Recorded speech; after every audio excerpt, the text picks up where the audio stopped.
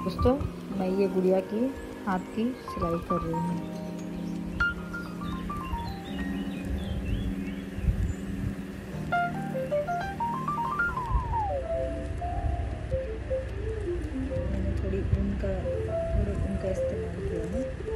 बच गया बन गया इसका शरीर। और ये हो जाएगा इसका स्कर्ट। मैंने अपने पुराने कपड़े से बनाया।